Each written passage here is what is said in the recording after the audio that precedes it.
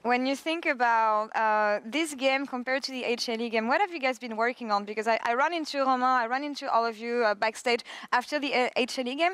Everyone felt happy in the sense that you you liked what you've been able to showcase against them. But I do feel like you would have been able to close it out, but you were maybe, I don't know, unsure about either of you guys as teammates or maybe the approach of the meta. What did you guys readjust for this one?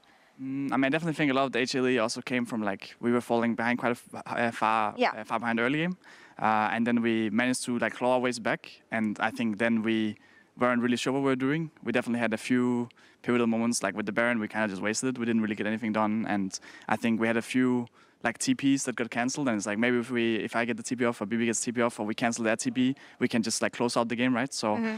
we were just not clutch enough in like the the moments, but we will we will do it next time.